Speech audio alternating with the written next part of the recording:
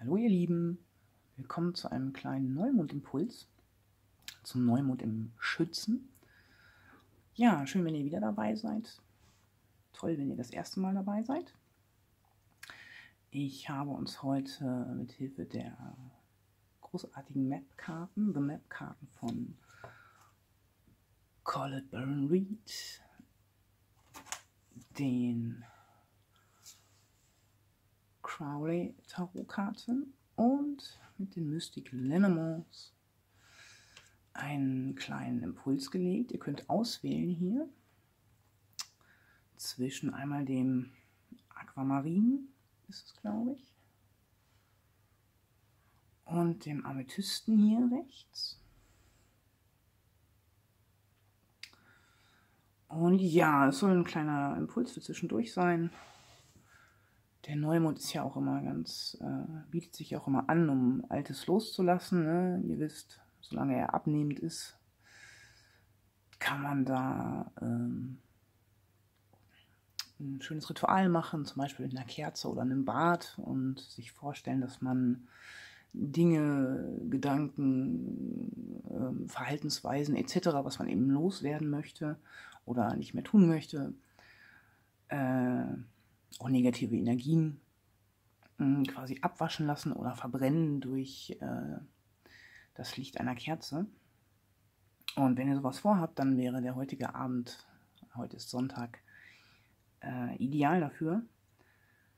Ansonsten, wenn ihr dieses Video erst Montag schaut oder Dienstag, dann hättet ihr immer noch die Chance, äh, wiederum einen Wunsch loszuwerden, der mit der Vermehrung in Verbindung steht. Also wenn ihr etwa mehr Erfolg möchtet oder mehr Liebe oder einfach mehr positive Energie in eurem Leben, dann wären Montag oder Dienstag dafür ideale Tage.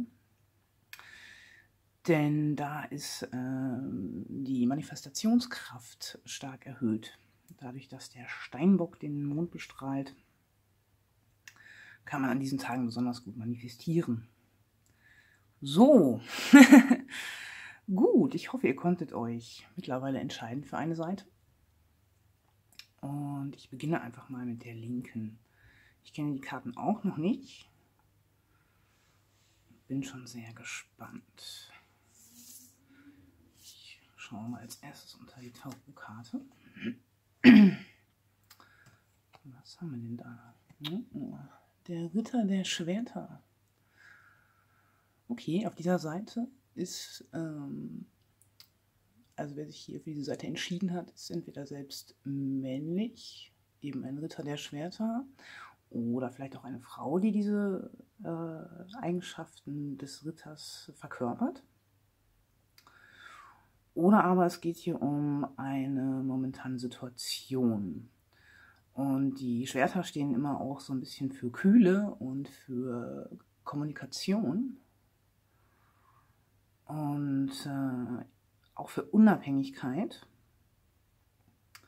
Also entweder geht es hier um jemanden, der seine Unabhängigkeit sehr zu schätzen weiß, oder äh, es geht um eine Situation, in der es gilt, unabhängig zu werden oder unabhängig zu handeln oder zu denken. Äh, darüber hinaus ist der Ritter der Schwerter halt auch der, ne, quasi der König der Schwerter, also eine äh, reifere Energie. Also kann es hier entweder um einen Menschen handeln, der auch schon in den reiferen Jahren ist, oder jemand, der sich vielleicht so benimmt, als wäre er schon reif an Erfahrung. Ja, sehr schön. Eine, eine klärende Energie auch. Und äh, ich schaue jetzt nochmal. mal.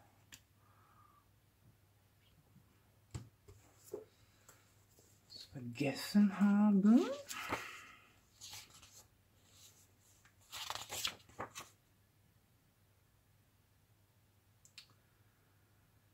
Ja, es, äh, wenn hier eine Person bezeichnet ist, dann hätte man hier noch einige Stichwörter, Intelligenz zum Beispiel, ja, also hier ist jemand klug, auch fähig, objektiv äh, zu sein, aber manchmal dadurch leider auch ein bisschen kopflastig aber auch wortgewandt und es kann sich hier auch um einen Ratgeber oder eine Ratgeberin handeln mit diesen Eigenschaften.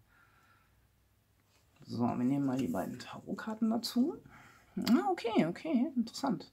Hier die Schlange, da kam jetzt sofort irgendwie die, die Heilerin rein, in Bezug auch auf Ratgeber und so. Vielleicht hast du es hier mit einer Frau zu tun, die dir als Ratgeberin zur Seite steht, als objektive und wortgewandte und sehr, ja, schon eher rationale Ratgeberin.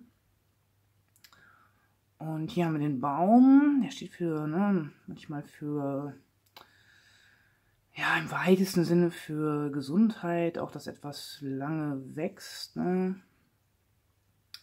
Auch so ein bisschen für mich immer für Stabilität.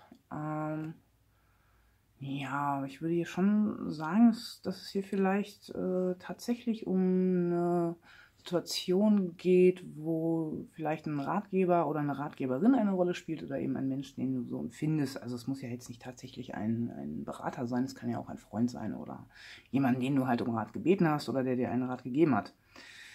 Ähm, ja, wie gesagt, durch die Schlange hier wahrscheinlich eher eine Frau. Vielleicht geht es auch um eine Frau in diesem Rat. Das kann auch sein. Ja, wir schauen mal in die Map-Karte, ob wir hier noch eine, einen weiteren Hinweis bekommen.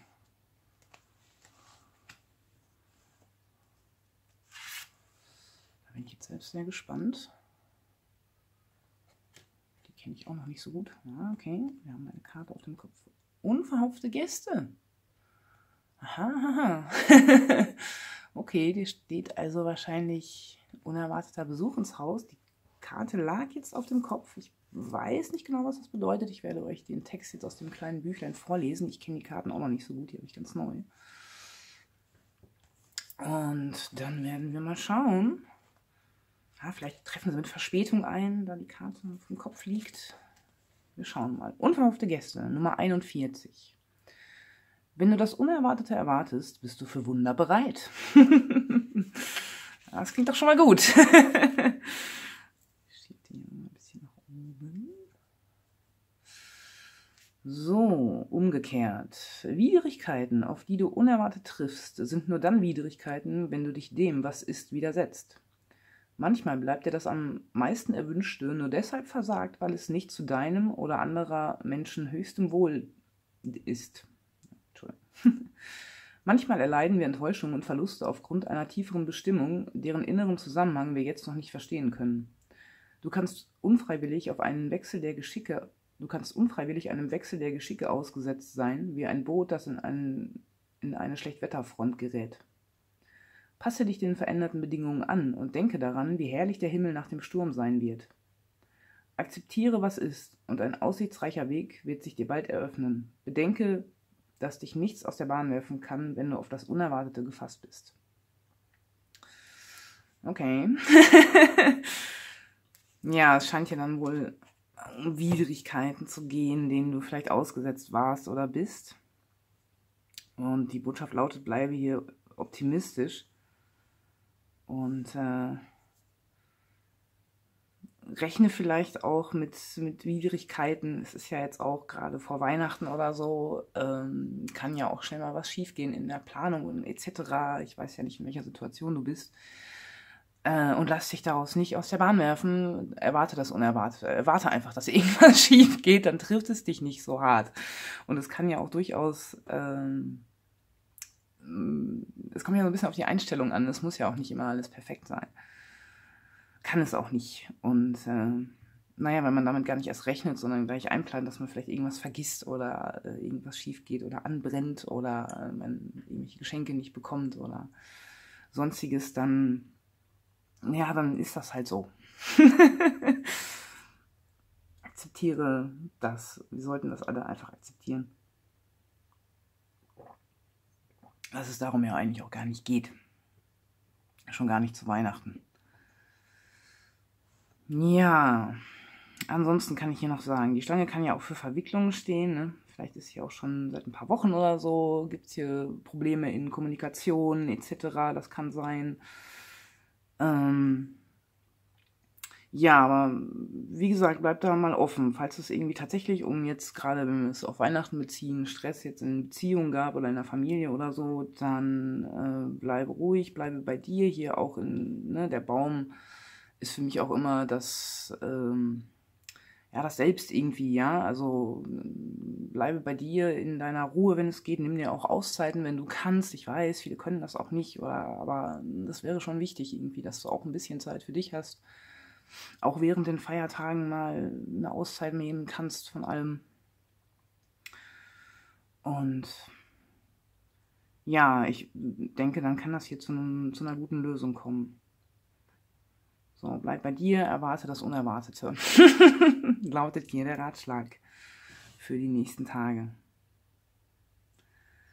So, und dann kommen wir mal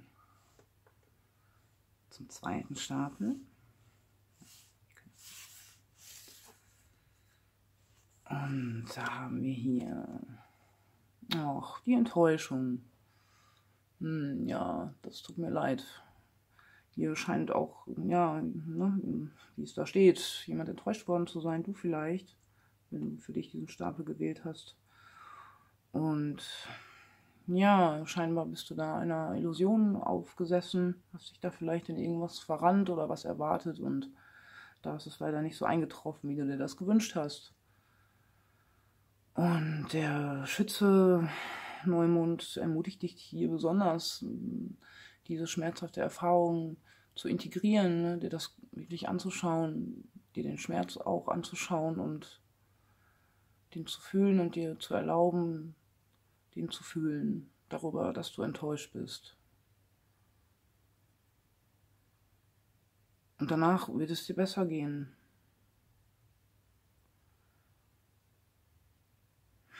Und im besten Fall wirst du sehen, dass es gar nicht schlimm ist, enttäuscht zu werden, weil jetzt kennst du die Wahrheit und kannst dich dementsprechend äh, anders verhalten und es wird sich für dich auch besser anfühlen. Ich weiß, das ist jetzt immer, wenn man aktuell gerade sehr enttäuscht ist, natürlich wenig tröstlich, aber ich glaube, es ist ganz gut, wenn man sich das wirklich anschaut und diesen Schmerz über die Enttäuschung halt auch nicht einfach wegschiebt. So, das ist halt auch nicht die Lösung. Ich schaue mal in die, Lenormand-Karten. So, da haben wir den Turm und das Kind. Okay, also hier, es könnte sein, dass du dich momentan einsam fühlst vielleicht. Oder dass du vielleicht gerade getrennt bist von jemandem, den du sehr magst. Oder dich insgesamt irgendwie ein bisschen isoliert fühlst von anderen. Und ja, das ist irgendwie ganz bezeichnend hier. Schaut jemand aus dem Turm raus, hier quasi auf das Kind, das hier fröhlich auf der Schaukel sitzt und Spaß hat. Und diese Person hier hat gar nicht den Zugang dazu, weiß gar nicht so genau, wie sie denn hier hinkommen kann, möchte vielleicht sogar mitspielen.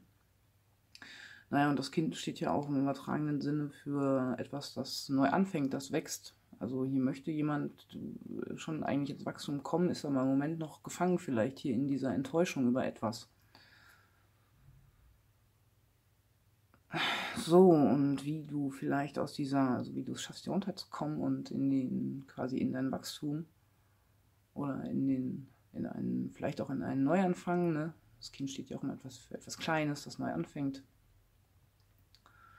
Vielleicht auch, wie du in Kontakt mit deinem inneren Kind kommen kannst oder auch mit deinen eigenen Kindern, wenn es da im Moment, vielleicht gab es da eine Enttäuschung. Dann hoffe ich jetzt mal, dass die Map-Karte uns da Aufschluss gibt, wie du das am besten anpacken kannst, um dann eine Lösung zu bekommen, auch auf dem Kopf. Der Geist des Ortes. Nummer 4.